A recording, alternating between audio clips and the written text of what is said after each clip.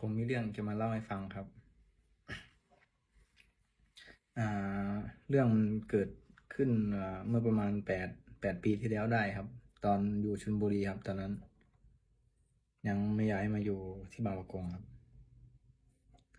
เมื่อก่อนผมชอบตกปลามากๆครับ อยู่พักอยู่ใกล้อ่างอ่างบางพาครับนะแล้วมีมันมีอยู่วันหนึ่งไปนอนค้างคืน เฝ้าเบ็ดไปไปตีเบ็ดกันกับเพื่อนสามคน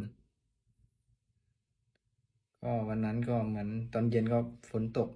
โปรยๆหน่อย อ่า ก็ประมาณสองทุ่ม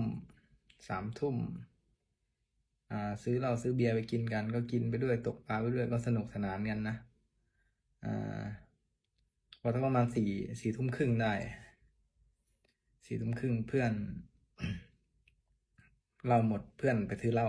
ไปด้วยกันสองคน ผมอยู่คนเดียว ก็นั่งดูดูเบ็ดแล้วปลาปลากินเบ็ดปลานินไซส์ประมาณไซส์โลอะแล้วไอเราเราก็เอาเบ็ดเบ็ดขึ้น แล้วไอ้ปลายคันเบ็ดอะไปโดนหัว ไอ้ไฟที่ส่องอะ ไฟก็ดับอีกคันเนี้ยเออปลาก็ล่วงลงน้ำเออ หมดก็เลยแบบหันหลังไปเห็นแสงอะไรผ่าน แวบแวบเห็นเหมือนแบบคล้ายๆ แสงไฟอะ สีส้มเออนั่นแหละเราก็อยู่คนเดียวแบบเชี่ยผีหลอกเราวะเนี่ยอืมข้างหลังก็เป็นป่าเป็นอะไรหมดเลย อืมผมก็กุมหน้ากุมตานั่งดูเบ็ดเนี่ยก็ไม่แบบกลัวเนาะออพักหนึ่งก็ตัดสินใจ